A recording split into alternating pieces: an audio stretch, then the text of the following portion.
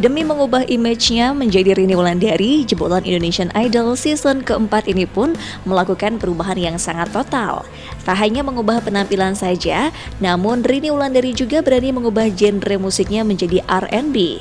Dengan musik R&B, Rini Wulandari merasa hidup karena musik yang dibawakan adalah musik yang memang ia gemari.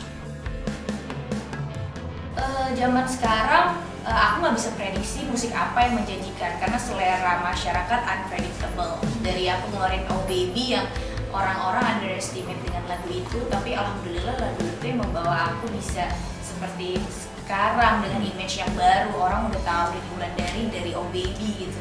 Kayak perjalanan waktu dan dengan keyakinan aku yang menganggap bahwa kalau aku ngeluarin musik yang memang aku suka banget orang-orang juga akan dapet uh, feelnya gitu. Karena nggak ada unsur keterpaksaan nggak ada unsur gue pengen bilang keren nggak ada unsur biar masyarakat suka atau apa ini pure bener-bener jenis musik aku jadi kelihatan uh, mana yang memang bener-bener suka sama aku mana yang enggak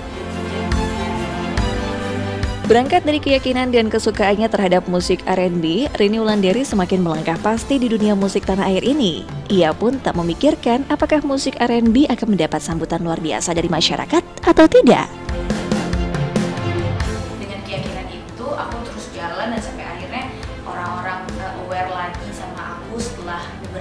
Aku gak kelihatan. Terus akhirnya mulai dari situ pola pikir aku berubah nggak mikirin kira-kira lagu R&B diterima apa nggak nggak mikirin gitu sama sekali. lagi